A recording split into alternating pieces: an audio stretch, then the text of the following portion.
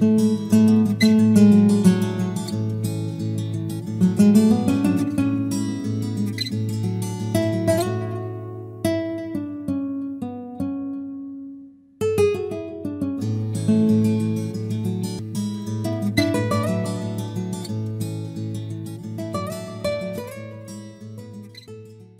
amigos, hoy vamos a ver tres plantas de la semana bien especiales.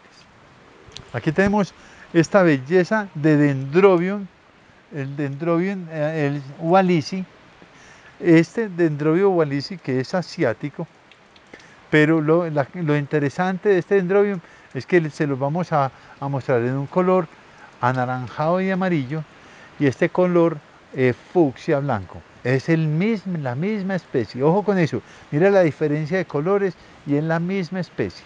Hoy hay una variabilidad en colores muy importante en la especie.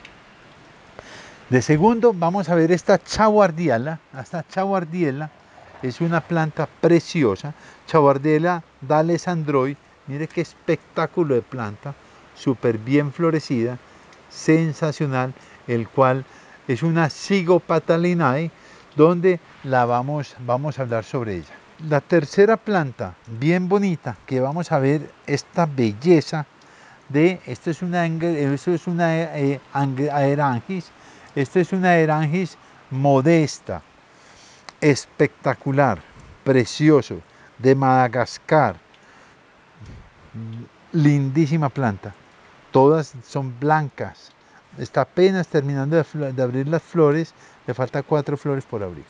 Entonces empecemos por este Dendrobium lauesi, precioso. Este Dendrobium lauesi, sensacional, como ya les dije, por la variabilidad de colores, la misma especie que eh, es sensacional, es originaria de Papúa Nueva Guinea. Eso es una belleza de planta se encuentra de forma epífita entre los 500 y 2000 metros sobre el nivel del mar. Yo voy a quitar estas plantas para hablar un poquito de esta, de esta especie que es preciosa. Es epífita y se encuentra en la parte baja de los bosques, en los bosques húmedos. Pero para florecer necesita en su invierno un periodo seco, sin agua, para inducir la floración. Para que tengamos en cuenta eso, eh, nosotros que tenemos las plantas en el trópico, vemos que aquí hay unos crecimientos de los brotes nuevos.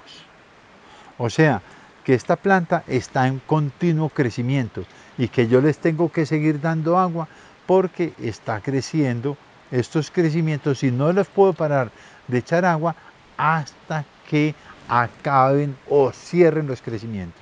Aquí también vemos en esta planta un crecimiento, dos crecimientos y tres crecimientos. Y están todos activos. O sea, son plantas que hoy les estoy dando agua y fertilizante. Una característica que tiene este dendrobium es que miremos que sus inflorescencias, una, 2, 3, 4, 5, 6, 7, que esta está chiquitica pero también tiene flores. La característica es que florecen cuando ya se les ha caído toda la flor, como vemos aquí. Entonces, como se les ha caído toda la flor, hay, hay una, hay, yo digo que la ignorancia es atrevida y muchas personas cortarían esas varitas florales porque dice que, ya están secas o ya no sirven para nada. Y mire que ahí es donde está la floración. Vamos a ver este otro caso. A ver si se repite, porque quiero corroborar. Aquí vemos vara 1, 2, 3, 4, 5, 6. Esta es la única que no tiene flores. 7 y esta es otra, dos que no tienen flores. 8 flores, 8 inflorescencias ocho eh, cañas sin, que, sin hoja donde están las flores. O sea, eso es una constante. ¿Listo? Bien, bien especial. Este, entonces, acordémonos, de 500 a 2000 metros, bosques húmedos en la parte de abajo, pero necesita en el invierno periodo seco para inducir floración. ¿Listo? O sea que estas cañas pueden durar hasta uno, dos años o tres eh, perfectamente bien floreciendo y floreciendo, floreciendo en la misma caña para que la cuidemos. Vamos a devolver esta planta tan sensacional y ya vámonos a hablar sobre chaguardiela. La segunda planta es esta chaguardiela. Chaguardiela, vamos a ver cómo se llama, Dalesandroi, campeona, preciosa, espectacular. Es una planta de Perú y Ecuador, epífita, que se encuentra entre los 900 y 1800 metros sobre el nivel del mar en bosques húmedos. Esta es, es por la forma de las, de las inflorescencias y por la forma de la estructura de la planta, es de la familia de la, del complejo condorrinca. Eso es una belleza, por lo que vemos el crecimiento de la planta. Es una cigopetalinae, como son todas las, eh, eh, las eh, barcevitzelas, como todo este grupo de plantas.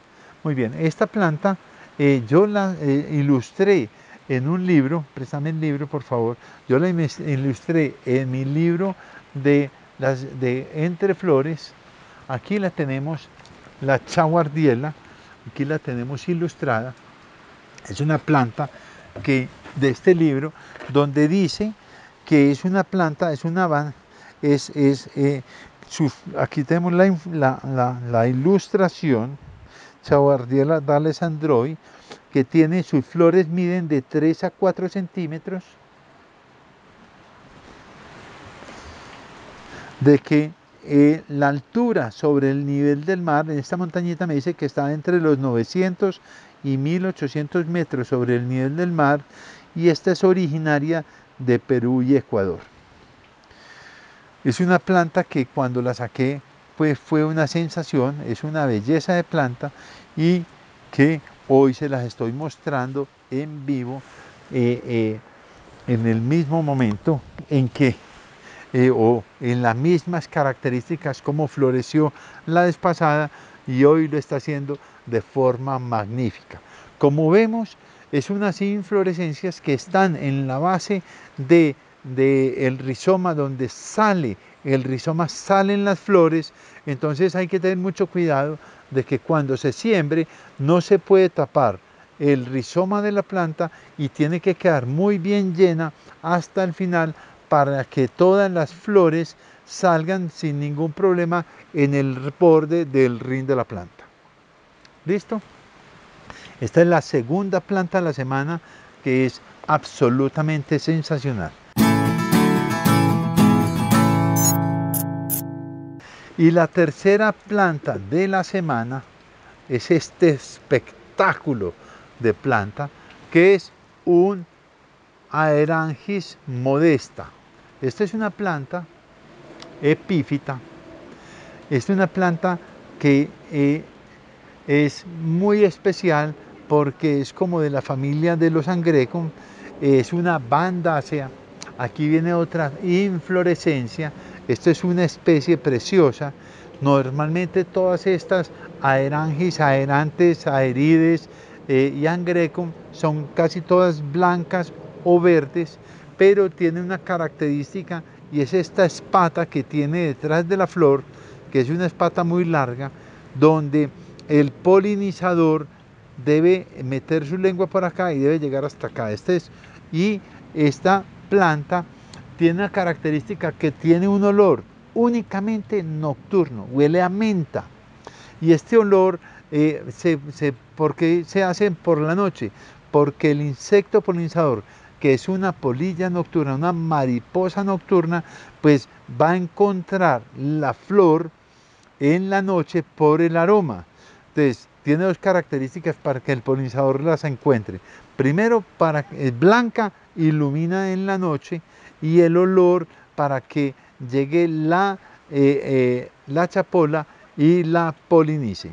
Esta planta es de Madagascar y es una belleza de planta epífita, el cual es importante que la hubieran conocido, que es una belleza de bandácea y que la tenemos que tener en cuenta en todas las colecciones y gozársela bien.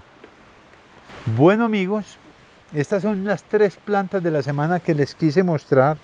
Se las mostré por, por algunas características importantes que es importante que las sepan manejar, que sepan esas curiosidades, que huele a menta, que florece únicamente en las, en las inflorescencias donde no hay ninguna hoja, donde hay que tener cuidado cómo sembrarse para que las flores salgan por el borde del rin.